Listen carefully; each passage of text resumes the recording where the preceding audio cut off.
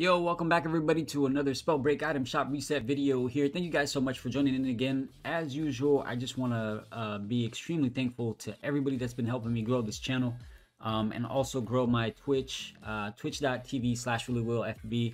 Um, these last few weeks have been insane, so thank you guys so much. Um, if you are planning on getting anything on the Epic Store, um, please consider using creator code WillyWillFB now let's get right into it. Let's see what we got in the store today. Let's see what we got coming up.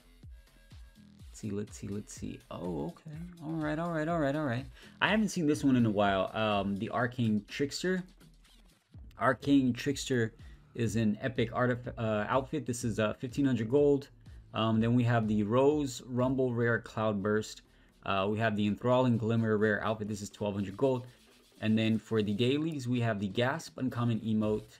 Uh, Vital Stone Savant is 200 gold. It's an uncommon badge. And then we have the Stalwart Uncommon Outfit and then the uh, Brillstone Expert Uncommon Badge for 200 gold. Those are your items for today, for January 9th, 2021. Thank you guys again so much for joining, uh, for helping me grow uh, this channel, uh, my Twitch, Twitter, man. Stay up to date with me on Twitter. Um, it, it's uh, at WillyWillFB on there as well. So thank you guys so much. We'll be back again tomorrow with another Spellbreak item shop reset video. You guys have a great one. Peace out.